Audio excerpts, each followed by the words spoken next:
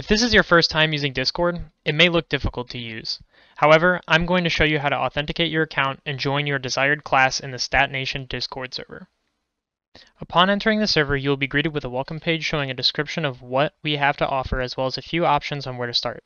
If this doesn't show up for you, you should still be brought to the authentication page where you can start typing in the authentication requirements.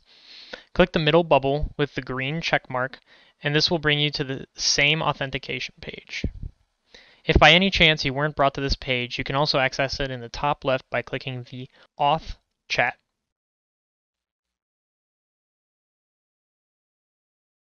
Now that we're at the auth chat, we can begin the process of joining the server with our NetID. Click on the message box at the bottom of the page and begin to type question mark A U T H space your NetID. In this case, I'm going to be using my NetID. Your NetID can be found on your My UTK portal, but it's also what you use to log into any UTK program. Once you are sure that you have the correct NetID plugged in, press enter. You should be prompted with your current name followed by a request to check your email for a verification code. When opening up your UTK email, you should have got an email from utkauthbot at gmail.com.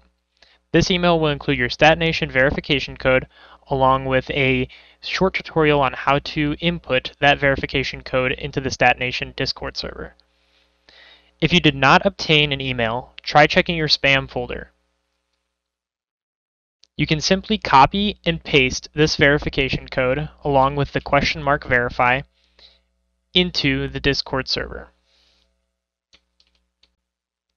If you are having trouble copying and pasting your verification code, try typing it in manually.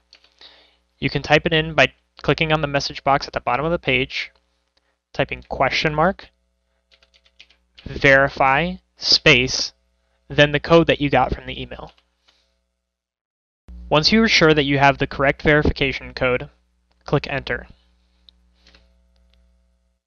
This should add all of the servers that are included in StatNation. If you are looking to join a class, go to the top left under Rules and Information and select Request Class Role. Here there are different classes to react to, and selecting one of the blue icons on the bottom of the screen will let you join one of those classes.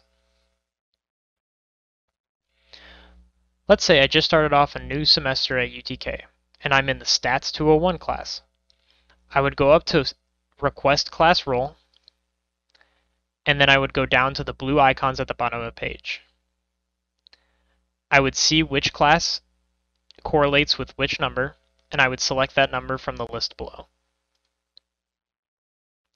You can see that I got a new message from Reaction Roles stating that I joined the Stat 201. Here I now have the option to look at the Stat 201 general chat, the Stat 201 TA questions, and the Stat 201 test questions. I also now have the option to join different voice channels for the Stat 201 class.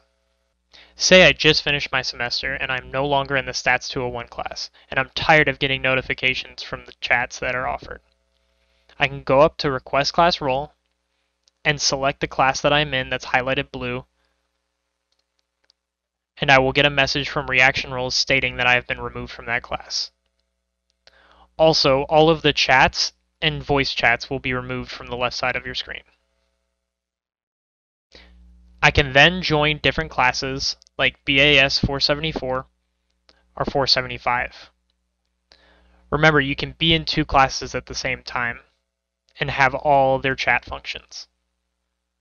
I hope this short guide helped you understand the StatNation Discord server a little bit better. Now good luck with all of your classes and remember to hashtag show up. Peace.